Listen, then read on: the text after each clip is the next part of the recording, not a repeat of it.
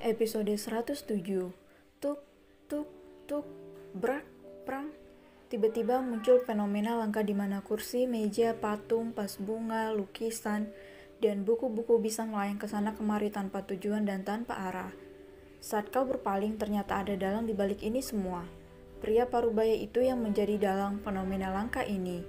Kenapa menculik satu orang wanita saja kalian tidak becus, bajingan? Teriak pria tua yang tak lain dan tak bukan adalah Tuan Park Jae-sung, si pembunuh dan otak kotor. Buk, buk, Tuan Jae-sung memukuli orang suruhannya yang jelas-jelas sudah terluka parah, bahkan sebelum pria tua picik itu memukulinya. Apa saja pekerjaan kalian bangsat?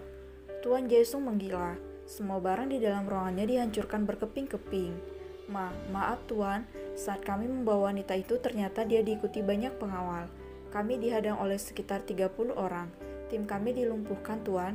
Uhuk, uhuk. Pria itu mengungkapkan apa yang terjadi pada mereka saat di perjalanan tadi. Pak Jae-sung selain menjadi dalang di balik fenomena benda-benda melayang itu, dia juga adalah otak dari penculikan Luna. Beberapa hari yang lalu, Jae-sung mendapatkan informasi dari mata-matanya yang berhasil menyusup ke rumah besar Park sebagai salah satu pelayan baru di rumah besar itu. Informasi yang didapatkan Pria itu cukup mencengangkan. Anak keponakannya yang dia bunuh setahun lalu bersama tuan dan nyonya besar, Pak ternyata masih hidup.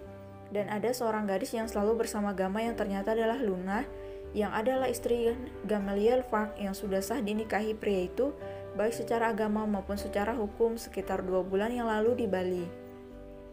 Setelah mendapatkan informasi ini, Tuan Jaesung berniat melihat secara langsung gadis yang dimaksud. Bagaikan mendapat dukungan dari alam, saat dia berkunjung ke JB Group tepat saat Laura dipermalukan, dia melihat secara langsung gadis yang menjadi sasaran empuk untuk mengancam keponakannya itu. Tuan Jaesung tidak memberitahukan informasi ini pada Laura dan Meli, sebab kedua wanita itu bisa merusak semua rencana yang sudah disusunnya dengan rapi dan matang. Ana juga sudah menjadi sasaran empuk Jaesung, namun tampaknya gadis kecil yang masih remaja itu benar-benar dijaga ketat. Tentu saja penjagaan Ana dirancang oleh Alex, anak buah Alex banyak yang menyusup sebagai pengawal di rumah besar Park. Bahkan yang selalu mengikuti Luna dan Ana, sebagian besar adalah anak buah yang bekerja di bawahnya dan menyamar sebagai anak buah Gama dan Bima. Sehingga akan sangat mudah bagi Alex untuk melindungi Luna dan Ana. Dan yang menghabisi anak buah Tuan Jaesung adalah bawahan Alex yang benar-benar selalu mengikuti Luna ke mana pun. Mereka hanya kalah cepat saat Luna dibawa ke dalam mobil. Tidak mungkin mereka membuat keributan di depan perusahaan, maka jalan satu-satunya adalah membiarkan Luna dibawa sebentar lalu menghadang mereka di jalan. Ana yang sempat menjadi sasaran penculikan dilindungi oleh puluhan pengawal tak terlihat, bahkan sebelum mereka melakukan pergerakan, para penculik yang merupakan anak buah Tuan Jaesung sudah dibekuk. Sialan, siapa yang berani menggagalkan rencanaku ah? Jaesung berteriak frustasi semua rencana yang sudah disusunnya rapi kini hancur berantakan. Laura dan Giselle tak bisa dihubungi, bahkan istrinya sendiri hilang entah ke mana. Mereka semua hilang bagaikan ditelan bumi. Sialan, apa yang harus kulakukan untuk merebut semua harta keluarga Pak? Itu seharusnya menjadi milikku, bukan milik anak ingusan itu. Gram Tuan Jesung. Brak, pintu dibanting dengan kasar. Dor, dor, dor. Terdengar dentuman senjata yang menggelegar di kediaman pria tua itu. Puluhan pria berpakaian hitam masuk ke dalam rumah besar Tuan Jaesung dan seketika itu juga mereka berhasil membekuk seluruh bawahan Tuan Jaesung. Angkat tanganmu bajingan, teriak seseorang yang tak lain adalah Gama. Ah, apa yang kau lakukan Gama? Kenapa kau menyerang pamanmu sendiri? Aku ini pamanmu, keluargamu satu-satunya.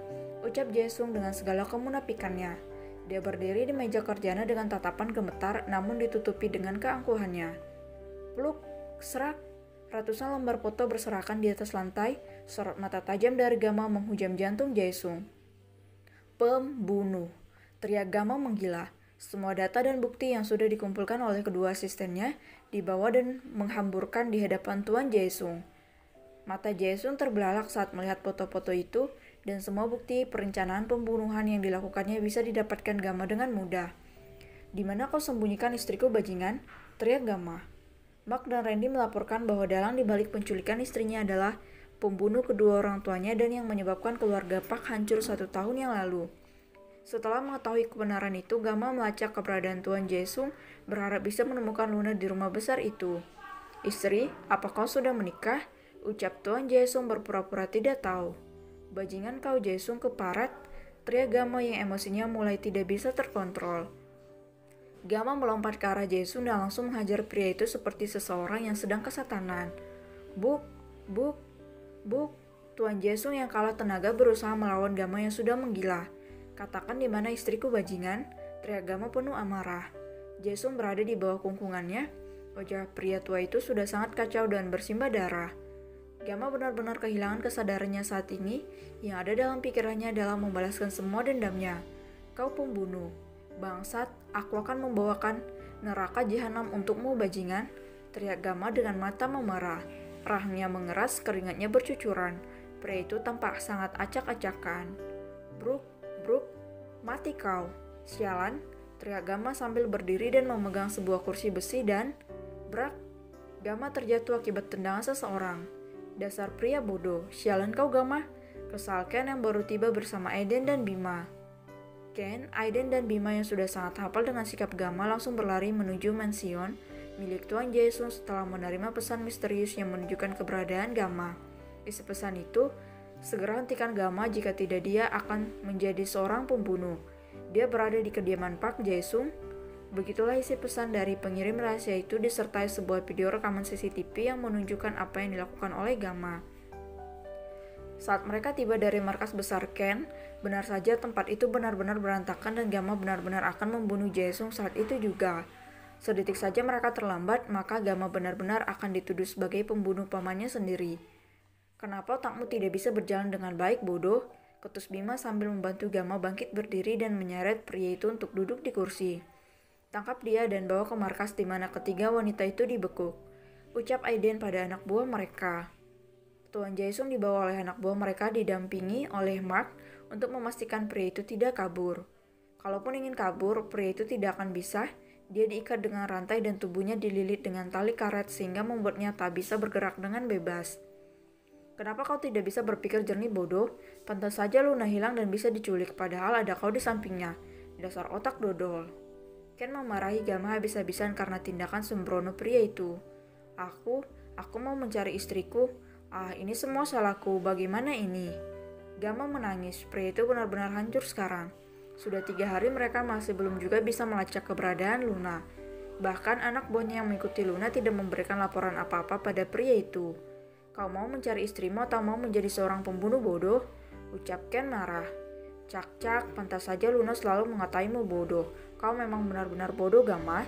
Ledek Aiden.